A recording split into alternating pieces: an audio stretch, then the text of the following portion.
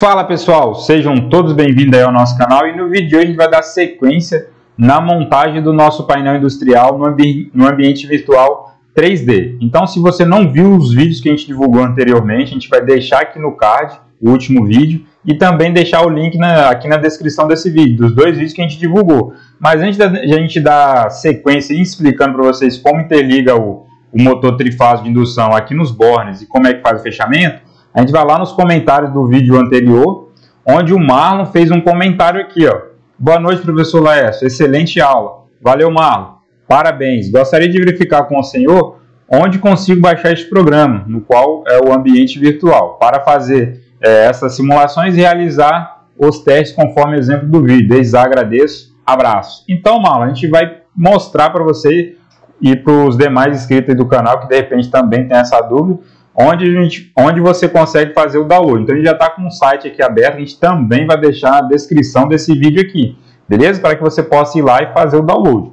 Então é o ead.seinares.org.br. Então eu posso copiar esse link aqui no seu navegador, vai abrir essa aba aqui, ó, só dê um enter aqui para vocês verem. Vai abrir essa aba, você vai rolar aqui para baixo. E aqui ó, no finalzinho, aqui ó, no canto, conforme vocês podem ver o cursor aí, ó, no canto direito, simulador de quadro elétrico em planta industrial 1.0. Então você vai clicar aqui nele, deu dois cliques nele, vai abrir essa outra aba aqui, ó, download do manual e download do recurso, que no caso é o software. Então você vai fazer o download do programa. A gente já fez o download aqui algumas vezes, eu vou fechar aqui, ó. Você clica em cima de downloads, ele vai vir aqui para sua área onde você é, tem os seus downloads aí. Então é só você seguir o processo de passo a passo de instalação, que é bem tranquilo não tem nenhum problema, é bem autodidático. Beleza? Espero que tenham sanado aí suas dúvidas. Então vamos voltar lá no nosso ambiente virtual e dar continuidade na montagem do painel. Então estamos aqui no nosso ambiente virtual, a gente vai só fazer uma recapitulação para mostrar para vocês onde a gente parou.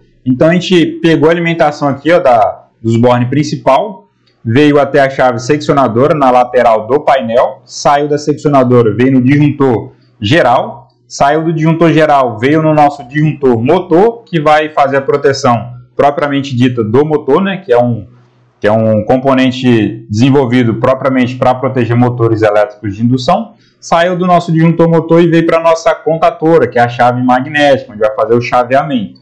Beleza? Saiu da contatora e veio para os bornes de ligação. Então vamos dar um zoom aqui, ó.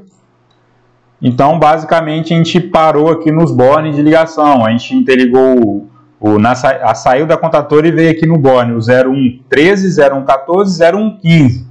Então a gente vai precisar de um cabo terra chegando lá na, na caixa de ligação do nosso motor. Então a gente vai ter que criar esse cabo aqui e interligá-lo aqui no, no, no borne principal. Então vamos lá agora no almoxerifado e vamos inserir o borne 0001, beleza? Então vamos arrastá-lo aqui para uh, para nossa bancada e interligá-lo aqui, ó.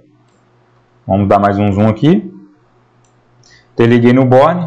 Beleza, então praticamente temos aqui os três cabos para ir lá no nosso motor e de alimentação, que é as três fases, L1, L2, L3, e o nosso cabo de aterramento, beleza? Então a gente vai precisar de três chapinhas, tendo em vista que a gente vai fechar o nosso motor em, em delta, e precisa de três chapinhas que o nosso é, software disponibiliza, beleza? Então vamos lá no nosso motor, Aqui, ó, abrimos a tampa, ele já vem pré-configurado, ó, 1, 2, 3 na parte superior, 6, 4 e 5. Então, para fazer o fechamento em delta, em 220 volts, é só interligar aqui 1 e 6, 2 e 4 e 3 e 5, beleza? Então, vamos interligar as chapinhas aqui. Lembrando, pessoal, se você não interligar a chapinha primeiro, ele não libera, é, por exemplo, coloquei os cabos de alimentação primeiro e depois eu quero inserir a chapinha, ele não libera para você fazer isso. Primeiro insere as chapinhas, depois você faz a interligação, beleza? Vamos inserir a terceira chapinha aqui. Tranquilo, então ele está praticamente pronto para receber as três fases e o terra. Então vamos voltar aqui. Vamos criar aqui os três cabos que, restantes que faltam para alimentar, que é o 016, 0116, 0117 e 0118 beleza? E o cabo de aterramento, então o 002. Então praticamente já está pronto para a gente interligar os cabos aqui lá no nosso motor. Então vamos interligar aqui primeiro. Vamos lá no nosso motor, interligar aqui no 6 ou no 1, tanto faz. Se você clicar aqui, ele vai interligar no 1. Se você clicar aqui no 6, ele vai interligar no 6. Então, não tem problema algum. A ordem que você clicar aqui e conectar não vai alterar para você fazer a simulação. Beleza? Então, vamos aqui na sequência do 2. Vamos voltar lá para o painel, interligar aqui. E você pode fazer essa conexão, pessoal, vice-versa. Conectar o cabo aqui e ir para lá e na sequência, na hora que você for vir de lá para cá, você já conecta o cabo lá também, ok? Aí você ganha tempo fazendo isso.